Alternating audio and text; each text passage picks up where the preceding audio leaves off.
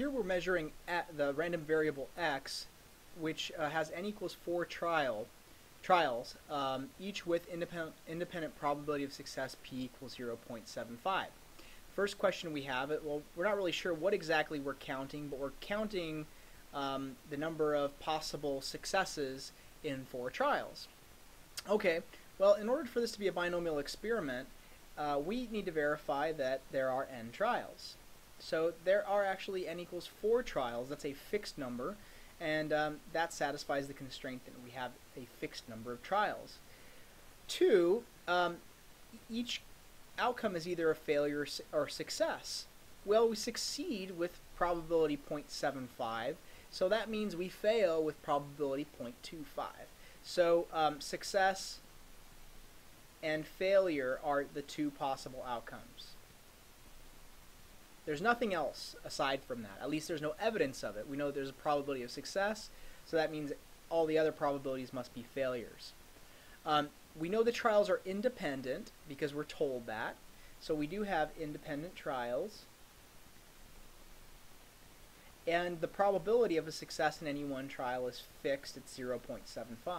Now these two go hand in hand because if you don't have independent trials, then um, your probability is also not going to be the same, potentially.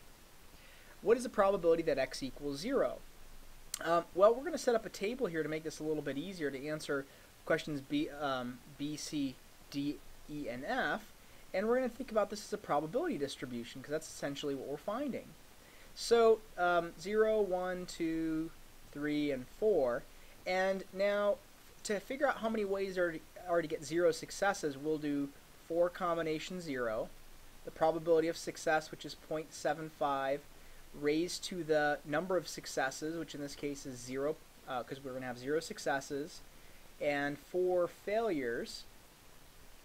Well, this one's going to be 4 choose 1 success, so that means we'll have 75 to the first power and 0.25 to the uh, third power.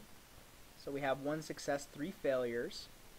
And then similar pattern, 4 to 0.75 squared, 0.25 squared. And finally for, uh, oops, two more to go, excuse me. We'll have 4 combination 3.75, th uh, 3 successes, and 1 failure. And then finally for uh, 4, well that's 4, 4 successes, 0.75 to the fourth power, 0 failures, and so this is what it would look like. So if we plug this into our calculator, well we get, um, we have to do 4, come over to math, select combinations. For the first one we do 4, 0, and uh, we do 0.75 to the 0 power times 0.25 to the fourth power. And really anything to the 0 power is 1, but we'll just go ahead and put it in the, put, put it in there anyway for completion. So this is the probability that we get, 0.004. So I'm going to put that off to the side here, 0.004 probability that we get zero successes. And that should make sense because the probability of success is pretty high. In the name of efficiency, um, I'll go ahead and show the results because these are just basically four calculation steps. Here's what they would look like once we actually carry these out. So probability of zero successes, 0.004 um, or 0.4%. And then they get higher as we go. So here's kind of the probability distribution. And it looks like it peaks out that the highest probability is that we'll get exactly three successes in four trials. Well, wait a minute. Three out of four, that, that seems to make sense. Um, expected value in this case would be the number of trials times the probability of success. Alternatively, this times this plus this times this plus this times this by the definition of expected value, but we should get the same thing if we just do 4 times 0.75.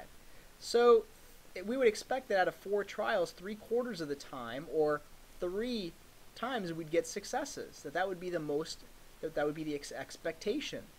And the question is, does it coincide with the resulting x that has the highest probability? And it does, because the x that has the highest probability is 3.